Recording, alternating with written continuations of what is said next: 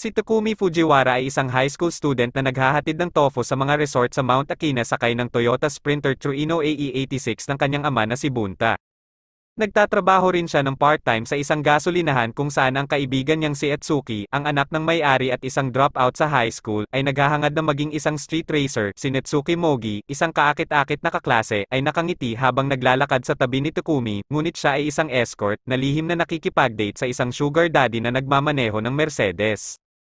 Ang mga street racers na sina Takeshi Nakazato ng Night Kids, na nagmamaneho ng Nissan Skyline GTR, at Ryosuke Takahashi ng Red Suns, na nagmamaneho ng Mazda RX-7 FC, ay nag-uusap tungkol sa karera sa isa't isa pagkatapos nilang talunin ang kompetisyon sa Akina.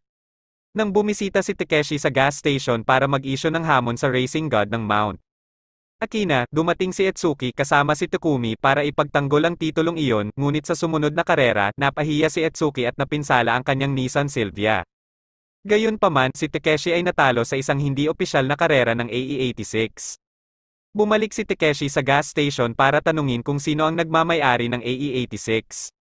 Tinanong ni Yuchi si Bunte kung nakipagkarera na naman siya. Nalaman niya na si Takumi ay nagmamaneho ng AE86 sa nakalipas na limang taon at patuloy na pinapahusay ang kanyang mga kasanayan sa karera. Nais ni Netsuki na makipag-date sa beach kasama si Takumi kaya pumayag si Bunta na ipahiram sa kanya ang kotse at punuin ang tangke ng gas sa kondisyon na manalo siya sa karera sa Akina. Tinalo ni Takumi si Takeshi sa pababang karera sa harap ni Ryosuke, Atsuki, at ng iba pang Red Suns at Night Kids. Sina Netsuki at Takumi ay nag -e enjoy sa isang beach date. Itinuro ni Takumi kay Atsuki kung paano makipagkarera sa Truino na binili niya. Sa kalagitnaan ng bundok, tinutuya sila ni Seiji Iwaki ng Emperor Team sa kanyang Mitsubishi Lancer Evolution IV at ikinagalit si Takumi hanggang sa puntong nakipagkarera siya at natalo si Seiji, na naging sanhi ng pag-ikot ng huli at pagkasira sa gilid ng kanyang Evo. Natuklasan ni Takumi na ang kotse ni Etsuki ay hindi gumaganap tulad ng kotse ng kanyang ama na sinabi sa kanya ni Ryosuke na ito ay custom-tuned at binago. Sumang-ayon si Takumi na makipagkarera kay Ryosuke sa loob ng tatlong linggo, ngunit habang pababa ng burol, naabutan ni Emperor Team Leader Kyuchi Sudo sa kanyang Lancer Evo 3, E3, si Takumi.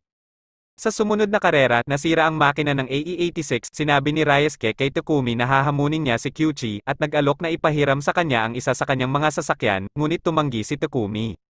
Sinabi ni Bunte kay Takumi na si Netsuki ay bumibisita sa kanyang bayan sa loob ng dalawang linggo.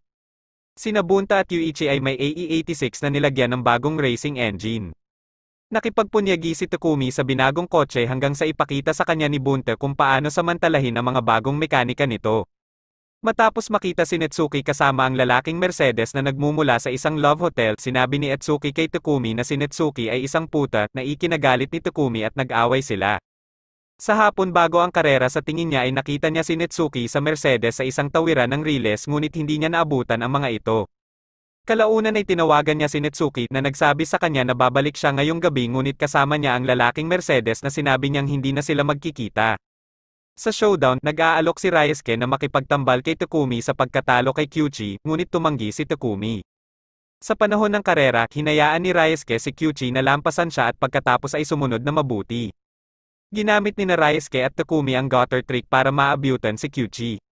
Sa kabila ng mga babalang mensahe ng isang driver na umaakyat sa burol, sinubukan ng E3 ni Kyuchi na lampasan ang dalawa ngunit napilitang lumihis sa kalsada mula sa paparating na kotse at tumalon sa gilid ng bangin na sumama sa kabuuan ng kanyang Lancer Evo 3. Nalampasan ni Ryosuke si Takumi sa limang pagliko ng hairpin. Ipinaliwanag ni Bunta sa mga manonood na nawawalan na ng kapit ang mga gulong ng FC at bahala na si Takumi na makipaglaban sa kanyang sarili at hindi sa kanyang kalaban. Isinagawa ni Takumi si Ryosuke sa huling pagliko upang manalo sa karera. Inalok ni Ryosuke si Takumi na sumali sa kanyang bagong pangkat ng karera, ngunit pinuntahan ni Takumi si Netsuki. Gayunpaman, nakita niyang ibinaba ng lalaking Mercedes si Netsuki nang may yakap nagkita si Takumi at Netsuki ngunit tumakas si Takumi habang si Netsuki ay bumagsak sa lupa habang umiiyak maluhaluhang nagmamaneho si Takumi tinawagan ni Takumi si Etsuki upang humingi ng tawad at pagkatapos ay tinawagan si Ryosuke upang tanggapin ang kanyang alok na sumali sa koponan ni Ryosuke Project D.